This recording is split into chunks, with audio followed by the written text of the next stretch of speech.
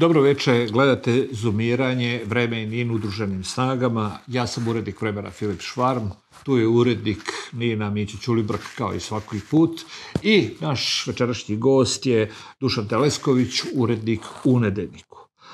A naša tema za ovaj broj, da tako kažem, zoomiranje, jeste to najveće državno blago. Evo imamo, bilo bi zapravo tragično i tragično je koliko je i komično. E, vlast u Srbiji mora biti svagdje.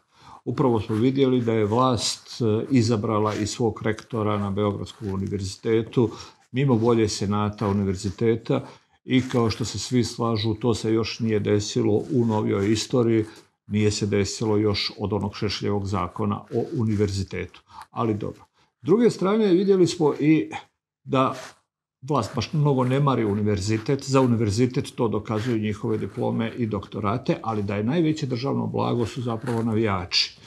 Gledali smo jedan derbi koji je okončan nekom vrstom tučnjave, imali smo nautičku manifestaciju, ako se ne varam, kada je opet bila jedna tučnjava u uh, hali beton, dakle gdje je bilo maltretiranje teško i dakle navijači su ovdje naj, najveće blago. Dule, je li ja grešim?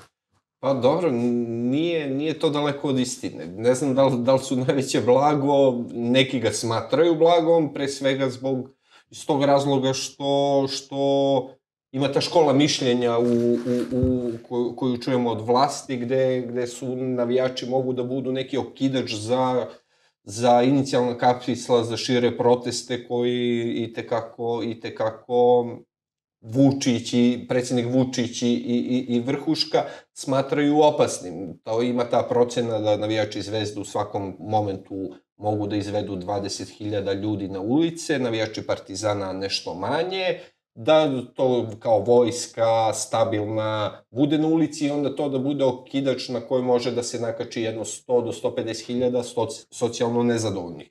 U tom, to su neke priče o koje, koje koje, vi znate da je moć tamo, da je moć u stvari samo jedna percepcija, da se moć nalazi tamo gde ljudi veruju da se nalazi, tako da ako vlast veruje da se moć nalazi kod navijača Zvezde ili navijača Partizana, onda se moć kod njih i stvarno i nalazi. I onda u tom kontekstu e, tim grupama je dozvoljeno ono što običnim ljudima nije. Tako da, kad izađu neredi, kad, to jest kad se dese neredi, onda nemaš, hapše, nemaš hapšenje, imaš privođenje, ali puštanja, nemaš nikakvu sankciju. Ti si spomenuo tu manifestaciju proslavu titule, um, ti, ti na derbiju događaji, ali ima vrlo indikativni događaj i pre toga, gde znate da su, je zabranjeno prisustvo publike na, na sportskim događajima, ali navijači Crvene zvezde, evo, nekoliko puta već prisustvuju u košarkaškim utakmicama kluba za koji, koji navijaju i to je onako jedno izrugavanje zakonu i, i, i propisima, tačno je, dođe Jel, komunalna policija... A jel drže distancu? ne znam, ne znam, nisam video, ali mislim, ali dođe tamo komunalna policija, pa ona napiše kaznu, ta kazna se plati, ali to je u, u principu ne, očigledno nije, nije, nije dovoljno da, mislim, u tom kontekstu to, znači, te grupe imaju i tekako privilegije. Iste stvari sa navijačima Partizana, da neko ne pomisli da sad ja nešto na, na, na navijače Zvezde ili, mislim, ista je stvar. Mi vidimo, mi vidimo zadnje to hapšenje grupe Veljka Belivuka, ta grupa koja je, eto, sad osumnjičena za, za najmonstruoznija krivična dela, ona je i tekako imala isto podršku državnih organa, sa, i to sa najviših mesta. Ako vi imate policijske informacije, policijske značke, policije, celu logistiku policije, ako vam policija dojavljuje gde je vaša meta koju želite, koju, koju žele da likvidiraju, onda je to isto, eto, još veća državna pomoć nego, nego, nego, nego ovaj. U tom smislu, eto, ako da se to može nazvati blago. Pa da, i ako se to može nazvati navijačima, naravno. Jer kako, teško je ja sam svoje vremeno išao na utakmice, davno sam prestao do duše, kad su postali navijači. Uh, onog momenta kad je postalo opasno ići zapravo na stadion. I tu jeste ovaj, taj ključni problem, zato što uh, vi pod o, o, velom navijača zapravo imate klasične kriminalce koji ne samo da tuku ljude na ulici kad im se prohte, nego i najteža krivična dela im se gledaju, gledala kroz prste sve do, sve do skora. Tako da, ovaj, i opet se vraćamo tu takođe na, na, na ono što verovatno svakog normalnog građanina ne, jako nervira. Dakle, komunalna policija kad uđe, gde je zabranjeno okupljanje i svakoga kazne sa 5000 dinara, ovde imate 3000 ljudi i kazna ukupna izađe 100 dinara po čoveku. Šta je to? Čemu se to radi? I onda pri tome imate bivšeg ministra u vladi, direktora pošte koji se slika. Da li je čovjek normalan? Mislim, on time pokazuje da krši zakone ove zemlje. Jer tamo ako su rešili da puste na utakmicu protiv budućnosti nekakve članove kluba, nem pojma, redare, ovo ono, pa šta je on tu? Dakle, to, to je neverovatno koliko, koliko ljudi u toj svojoj bahatosti, koliko su se već prestali da vode računa o bilo kakvom obziru. To je ono što je najgore. Pa u tome je stvar. Pazi, mislim, e, zakon se poštuje samo u meri, to je postoje jednaki i jednaki pred zakonom. I to se poštuje u meri u kojoj si dobar ili nisi dobar sa vladajućom većinom. Tako da, ako, ako si ti dobar, visoko pozicionirani e, član Srpske napredne stranke, ti onda ne možeš da imaš nikakvu konsekvenciju, ili je to minimalno. Mislim, to, se, to, to smo videli hiljadu puta, sami smo, mislim, koliko smo puta i pisali i ukazivali na to. To ti je, eto, jednaki, da, to je bilo i sa, i sa Vesićem kad se neformalno slavila titula nakon osvojenih bodova koji su bili dovoljni zvezdi. Da. Dakle, i onda se ispostavi da, eto, ali, njemu se znaš, može, a...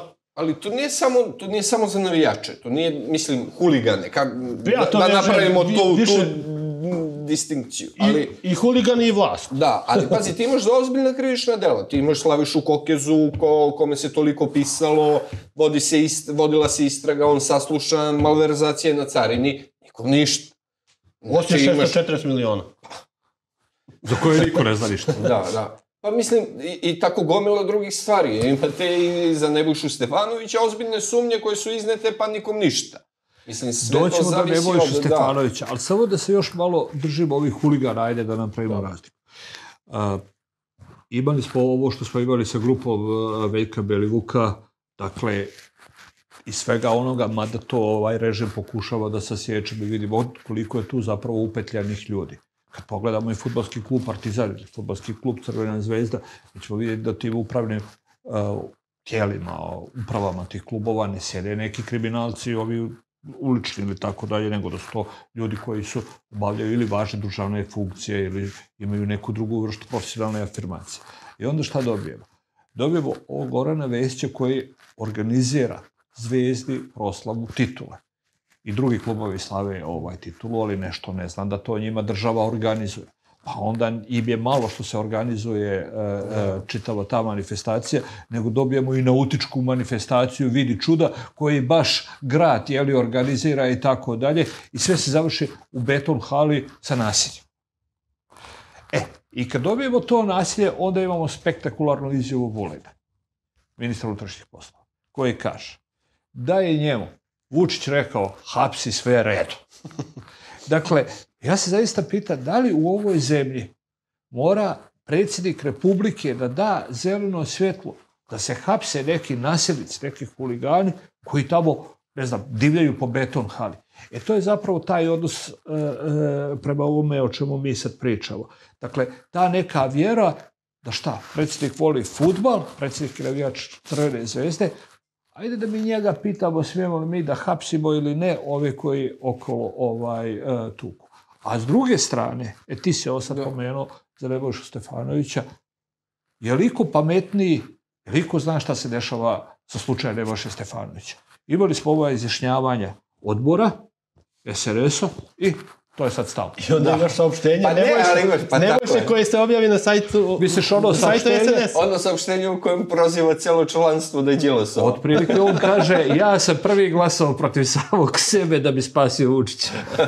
da, ne, ne, Ali to je ludilo, a dobro, vidjet ćemo za dva dana, u subotu je sednica glavnog odbora, pa ćemo da nešto, verovatno će nešto da se desi, neće se desiti ništa spektakularno, da. dakle, ovaj, Nebojša je svestan da u toj bitci ne može da izađe kao pobednik, ali verovatno ni Vučiću ne odgovara da Nebojša bude potpuno poražen i pogažen, mada ovo što se sad dešava sa ovim saopštenjima opštinskih odbora i gradskih odbora jeste zapravo ono najgore moguće ponižavanje, ali ono što mene, ja, ja sad čekam samo kako će se dalje stvari tu razvijati, ne toliko na liniji Vučić-Stefanović, nego na liniji Stefanović, recimo Vučević iz Novog Sada. Da.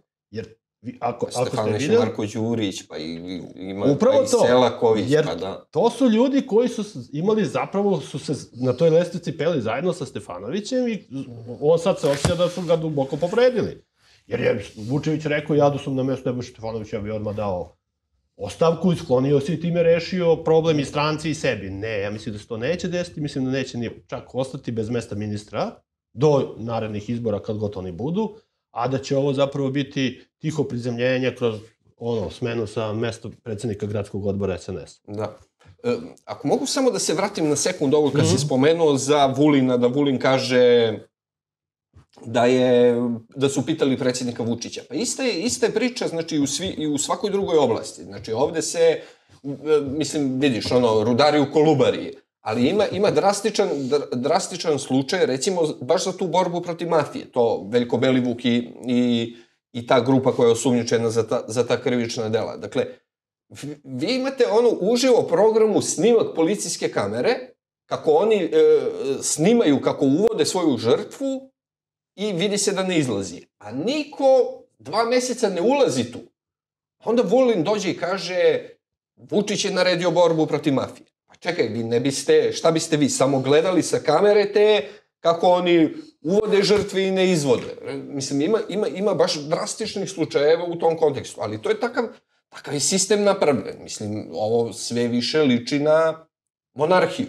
I sve mora da se pita, i sve, znači od, od najnižih ka- kadrovskih postavljenja, ne znam, u Telekomu, u Pošti, da ne pričamo o ministarstvima gde su svi u VD stanju i drž, gde se drže na, uzi, na uzicama pomoćnici ministra, državni sekretari sa produžavanjem na svaka tri meseca, u svim drugim oblastima života ovde. a, Fabrika u Rudnoj glavi kod Majdanpeka ne može se otvori dok ne dođe predsjednik da se vakciniše. To nije moglo pre toga, mislim. Tako da u, u tom kontekstu to, to to, je će- problem jednog sistema koje, koje je napravljen i u kome mi živimo. E sad, s druge strane, Nebojša Stefanović je i tekako pomogao u uspostavljanju tog sistema i on se sad brani upravo braneći taj sistem. Kad on kaže to napadaju Vučića, ja branim Vučića, on, on, on to radi vrlo inteligentno za, za naravno sobstvene interese.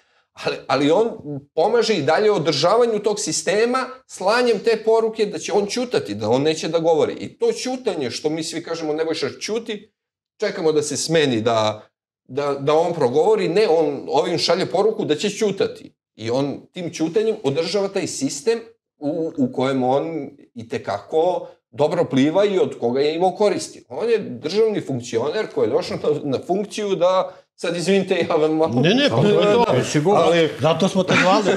ali on je došao čovjek e, na javnu funkciju da radi za interes ja, građana, države, ovo, Da, a da, on da, je da, da. svaki njegov potez koji vidimo je u svo, u, usmeren ka svom privatnom interesu. I sad kad je postojala neka nada da će on početi da radi u javnom interesu, da se na neke, makar neki način oduži građanima ove zemlje, ne, on i dalje šalje poruku da, da štiti svoj privatni interes. U tom kontekstu sad, da li će on biti smenjen sa jedne pozicije, druge pozicije, treće pozicije, nije, nije ni bitno ako sve ostane kako je bilo. Ako i dalje imamo povlašćene izdavanje dozvola za, za, za trgovinu oružjem, ako i dalje imamo malverzacije na carini, ako imamo u policiji situaciju kakvu imamo gde niko ništa ne radi i, i samo, mislim, gle, glede, mnogo ljudi gleda kako da zaradi sa strane. Mislim, to je raspad jednog čitavog sistema. I kad vidi unište, mogu misliti kakva je situacija u vojsci i kakva će tek biti u vojsci. I kad vi to razbije taj sistem, to neće pitanje da li će moći ponovo da se, da se, da se izgradi. I Posle 5. oktobra isto je 90-ih taj sistem rasturen u ratovima i u kriminalizaciji ovde, pa se nekako počeo da se diže, a opet je taj sistem ubio novog premijera. Taj sistem. Dakle, ti Ubio ljudi, pomoćnik, sistem, da. komandant specijalne jedinice, zamenik komandanta i tako dalje. Mislim, oni su, znači, ta, možete misliti sad Ako, kad se ovaj sistem razruši, kako će to izgledati posle toga i kako će to rasulo biti. I u službama bezbednosti, i u MUP-u, i u vojsci. Dobro, Da do toga, a, do toga ćemo se vjerovatno načekati kako stvari stoje, ali e, ja bih se isto vratio malo na a, pismo a, Nebojša Stefanovića. Meni to pismo, pored ovoga što ste vi rekli, ja se slažem sa svima i meni govori još jednu stvar. To pismo na najbolji način demonstrira kako funkcionira Srpska napredna stranka. A to je, nije važno da si član predsjedništva, da si član glavnog odbora, da li si čak ministar. Moć u Srpskoj naprednoj stranci dolazi iz blizine i bliskosti sa prvim čovjekom, a to je Aleksandar Vučić. I onda šta kaže Nebojša Stefanović? Nemojte se vi meni ovdje igrati neke stranačke demokracije. Nemojte mi glumiti neko izjašnjavanje. Pa valjda ja znam kako to stoji. A ovo što će biti sa mnom prije ili kasnije, pa kao i do sad, bit će onako kako kaže predsjednik. Vučić. I šta vi tu meni glumite? E to je ovo, to na neki način on objašnjava i ovo što si ti načao i odnos sa ovim Vučevićem i, i sa Selakovićem i sa drugim. Vidi da hoćeš da mi snažno repliciraš, ali ćemo napraviti pauzu za reklame, pa ćemo nastaviti dalje. Gledajte zoomiranje, pravimo pauzu za reklame, ostanite i dalje s nama.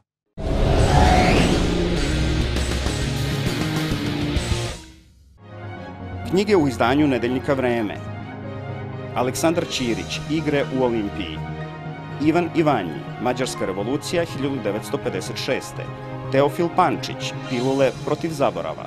Dragan Todorović, U tri lepe. Milan Milošević, Desna deca levih roditelja. Miloš Vasić, Moj muški život. Dragoljub Žarković, Napredna knjiga. Knjige možete kupiti u redakciji, boljim knjižarama, pouzećem ili preko interneta.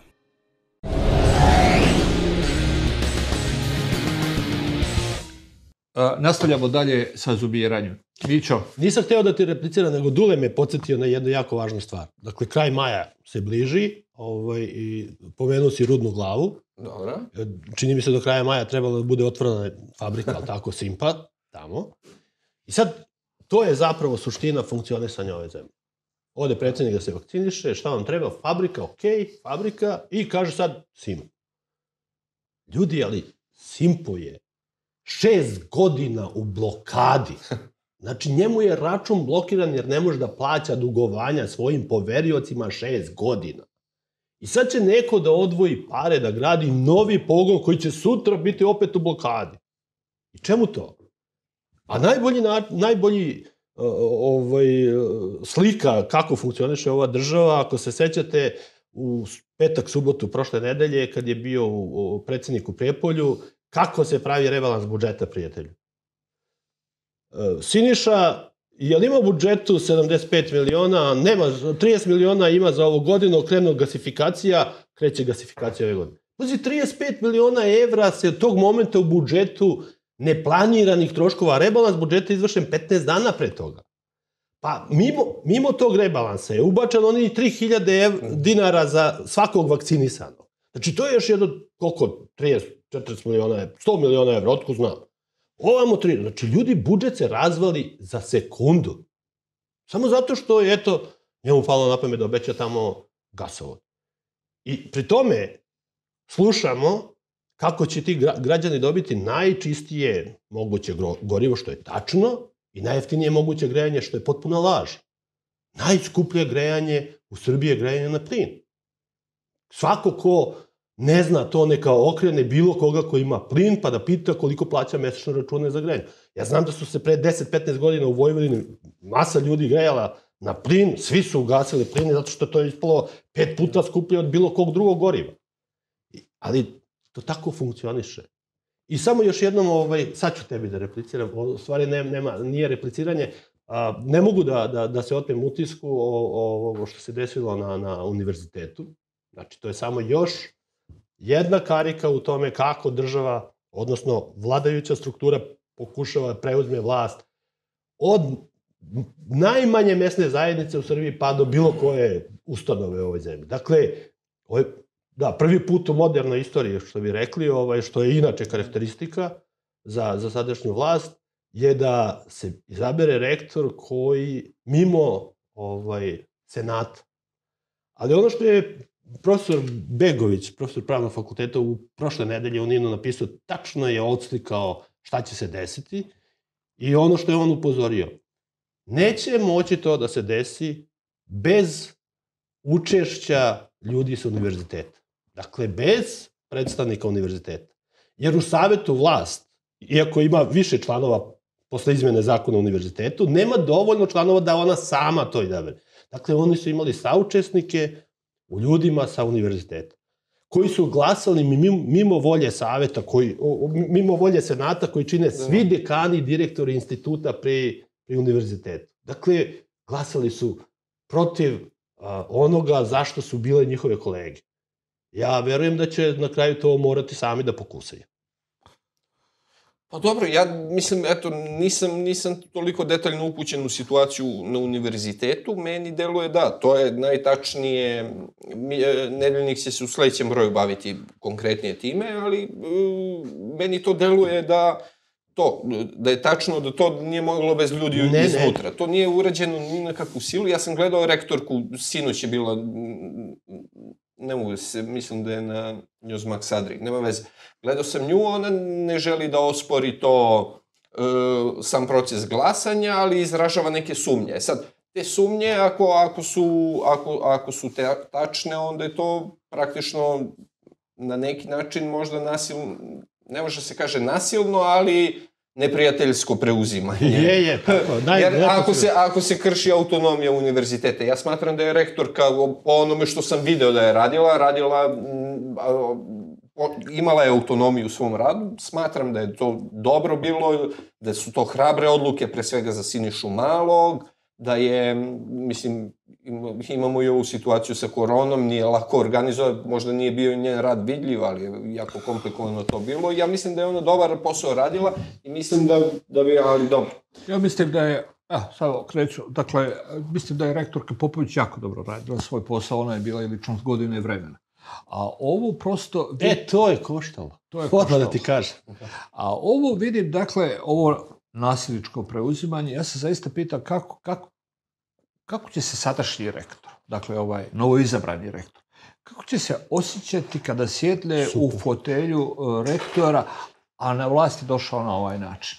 Dakle, na ovaj način je izabran za rektor. Pogrešno ti to, to, to, uopšte, to, je to. to je potpuno greška. Greška u startu. Da, da, pa da, ima, da ima primisli uopšte na, na tu stranu, ovo se ne bi desilo. Dakle, u, a, samo podsjećanje jedno. A, u, prethodno na Senatu glasanje je bilo 27-17. Tako je. Da bi aktuelni novi rektor uopšte bio izabran, on je morao na tom glasanju da dobije minimum 16. Da nije dobio 16 pojena, on ne bi ušao u drugi krug uopšte. Znači, on je za jedan glas prošao samo mogućnost da uđe u drugi krug. A od 41 člana Senata, 23 su profesori, predstavnici univerziteta, Znači, bez njihovih 23 glasa, znači, glasanje je bilo 23 17, ako se dobro dakle. sećam, što znači njihovi su glasovi presudili. I to sad dolazi se ono u pitanje onog da li je bilo tu lobiranja, šta je radio Šarčević, bivši ministar prosvete, sadašnji savjetnik da. predsednika i premijerke i tako dalje i tako dalje. Za, ko, za, ko, za koga profesor Begović tvrdi da je išao po a, po univerzitetima i zvao pojedine i dekane i profesore i pretio. Da, da. Šta može da se desi ukoliko se to, ukoliko on ne pobedi. Tako da... Vidi, Mićo, ja mislim da je suština upravo u tom načinu izbora na, ko, na, ko, na koje je neko izabran. Da je to suština u stvari u celom sistemu. Ako, ako si ti izabran glasovima svog, svojih kolega na pošten način, bez love, ne duguješ nikom uslugu, ti ćeš da radiš svoj posao u skladu sa svojom savešću. Dakle, neko je sposobniji, neko nije sposobniji, neko, neko ima, svi imaju različite afinitete, ali u svakom slučaju mogu da rade nezavisno. Ne može niko, ako, ne može niko da ih pozove i da kaže radi posao tako i tako. E sad, u, u, i upravo je u tom načinu glasanja, ako je bilo lobiranja, ako je bilo uslov, onda, uh, ko je, ko je, mislim, ajde, ja bih volio da, da, da, da, da nismo u pravu. Ja bih volio da novi rektor bude potpuno... Apsolutno. Aha, to, to bi bilo, daj Bože da grešimo. Ali ako je, ako je bilo tog lobiranja i ako on duguje nekima usluge iz vlasti ili, onda, onda, onda, onda univerzitet ne čekaju baš najlepši dan. Od toga se ja I, I, i tu ne može niko njima ni da pomogne sa strane osim njih samih.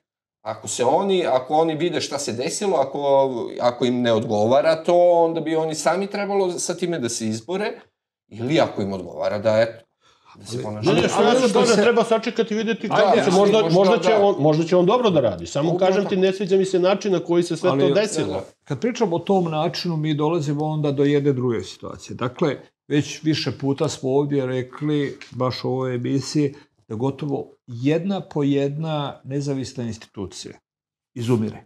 Umire, ona se neprijateljski preuzima, onog trenutka kada se preuzme, nje praktično nestaje. Do jučer mogli smo pričati o dvije institucije koje imaju autonomiju, koje djeluju nezavisno. Jedan je Fiskalni savjet, drugi je univerzitet. Ovim načinom izbora ja vjerujem da ostaje samo fiskalni savjet. A nemoj, Filipe, sad će i otići i Pavle ode, brate. Ali- si kog ti zavireš rektor, će- ko za ništa od godine, on je Ali, smene. ali, ali gledajte, Pa čekaj, zar nije u fiskalni savjet vlast stavila svog čoveka? Mi će ti to bolje znaš. Jeste, naravno. Mislim, naravno, i tu je, to- da, mislim, da. Bandije Mitrijević je ušao, li Tako je. tako? Tako je, i to, pri tome, kako ti kažem, direktno kršeći zakon. Jer je Bojan Dimitrijević, ne samo što je bio član Srpske napredne stranke, nego u trenutku kada je imenovan u Fiskalni savjet, bio je predsednik upravnog odbora, čini mi se, e, e, MTS banke. Tako je, u direktnom Dakle, sukobu u direktnom, interesa. znači on Tako je. po slovu zakona nije, Nije smeo da bude izabran. Da. Tako da, eto, Ali ali šta, je, ali šta, je, šta hoću da kažem? Da ova vlast, odnosno SNS, dakle, ne može da podnese apsolutno ništa. Ne pričam sad o mjestoj zajednici, ne, ne pričamo o općinama, ne pričamo o, o državi. Ne. Oni ne mogu da podnesu da postoji univerzitet, da postoji fiskalni savjet, zaštiti građana, bilo šta što ne kontroliraju. Ostaje se pitanje dokle to može da ide. I u krajnjoj liniji, jel to njima i odgovara? Vjerovatno, u ovome odnosu prema univerzitetu ima odmazde. Znamo ovaj, e, kako su bile, šta je bilo sa doktoratom e, Siniše Malo. Vjerovatno ima tu i nekih drugih aspiracija, jer ljudi su na vlasti 10 godina, pa, bi, pa su malo željni akademskih titula, Dobro, malo pitanje je i putovanja. statusa Bogoslovskog fakulteta, Pitanje statusa Bogoslovskog koji fakulteta. se tek rešava, tako je. Dakle, ima toga jako mnogo. Ja prosto ne razumem zašto s jedne strane mora država, grad, da organizira istovremeno i proslavu Crvene zvezde, meni je to van pameti, i s druge strane da preuzme univerzitet na ovako neprijateljski način. Ima li jedan kubni milimetar javnog prostora koji ovaj režim nije zauzeo ili ne planira da zauzme? Naravno da nema, mislim kako, mislim, Pa sve se svodi na slamanje otpora. Znači, pojavi se otpor, strategija slomi otpor. Sve se na to svodi i tako se učvršćuje vlast. Znači, pojavi se otpor na univerzitetu, slama je otpor. Pojavi se, Ali to nije ne znam, u fiskalnom otpor. savetu, pa nije, mislim... To nije ali politički otpor, to su Pa ljudi nije ni u fiskalnom Pa savetu. nema, pa, Pa nije, nije ni mislim u- šta. Da, e, ti mi će znaš fiskalni savjet, da, mnogo bolje nego, nego ja, ali ako fiskalni savjet izađe i kaže ovo nije dobro, pomoć od 100 evra, pa nalomi otpor, bez obzira što oni ljudi daju stručne argumente. Ja te argumente ne razumem, mislim, ne razumem i Pa ne, mogu da šta, ulazim da stručno pričam o njima, ali... Šta je tu najgore? Čak i kod fiskalnog savjeta vi imate u, u situaciju da oni, ono, u skupštini se organizuje, malte ne, ono, javni linč, Pa da, i onda kad pitaju predsednika negde na nekoj televiziji, on kaže, "Pa ne, ne, oni samo radi svoj posao. Vidi, to je potpuno šizofrene, to, isto, to mi liči sad ovo sa Stefanovićem. Gde svi ovi srpske napredne stranke po Stefanoviću, on kaže, ja ću razgovarati sa Stefanovićem, ja ne verujem da je on to uradio. Pa dobro, ali to je da. sve jedna predstava. A, o Mislim, tome je govorimo, ne, ne, o da, tome mislim, govorimo. Nije se Gačin Han digo protiv Nebojše Stefanovića, jer prati aktualnu političku situaciju u zemlji i zasmetalo im je prisluškivanje od pre godinu i po dana, mislim.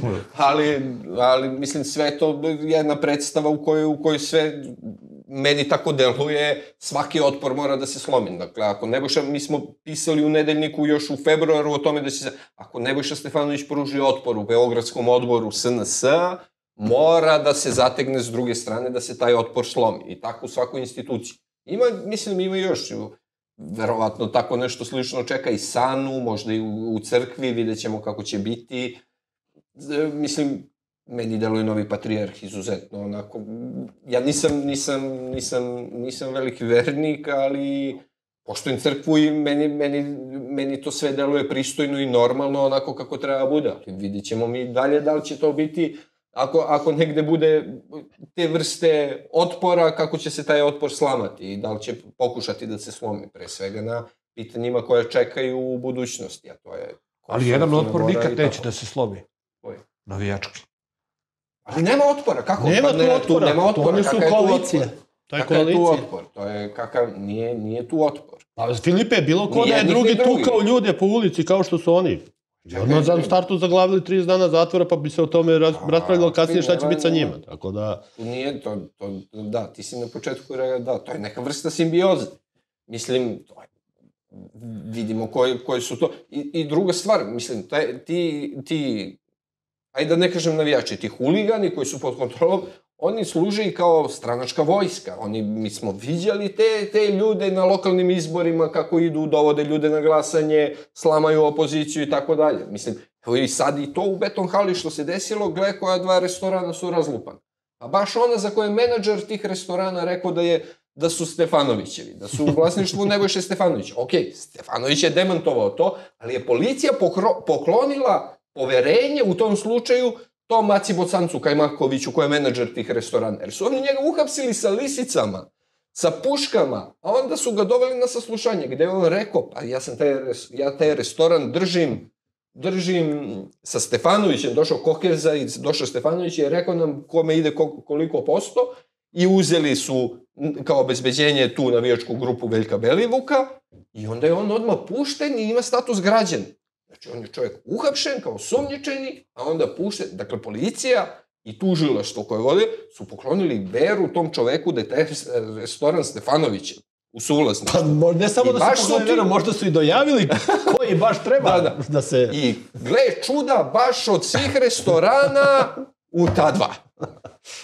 Pa baš ja ne znam... Pa možda su čuli da navijaju za partizan. zna, to, to, se, to se zove, to ono, volim da kažem, to je jedna prava najezda slučajnost. Da, najezda slučajno.